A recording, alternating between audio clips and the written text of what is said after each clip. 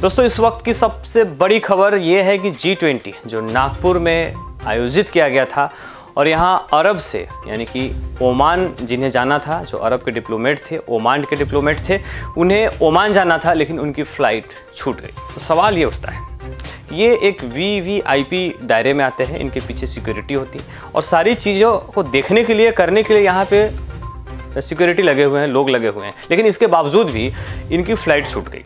ये फ़्लाइट दिल्ली जाना था और दिल्ली से इन्हें ओमान के लिए निकलना था। लेकिन फ़्लाइट छूटने के बाद दूसरी टिकट की गई जिसको ले करके ओमान के जो डिप्लोमेट हैं, वो काफ़ी चिंतित हैं और फ़िलहाल उन्हें गेस्ट हाउस में रखा गया है एयरपोर्ट के पास में। सवाल ये उठता है कि जब ये भारत से अपनी कंट्री में जाएँगे और ओमान में जब वहाँ से चर्चा करेंगे, बातचीत करेंगे तो क्या बताएँगे? यहाँ की सिक्योरिटी के बारे में क्या बताएँगे? यहाँ की व्यवस्था के बारे में क्या सवाल वहाँ पे उठाएँगे? ये भी एक बड़ा सवाल बना हुआ है। कि इस तरीके से एक वी जो हमारे देश में एक गेस्ट के रूप में आते हैं वी सुरक्षा के दायरे में आते हैं सिक्योरिटी चारों तरफ़ उनके होती है, उसके बावजूद अगर उनकी फ़्लाइट मिस हो जाती है तो अपने आप में एक बड़ी खबर है। सुरक्षा पे एक सवाल उठता है कि आखिर इस तरह की गलती किस प्रकार, किन की गलतियों से हुई होगी।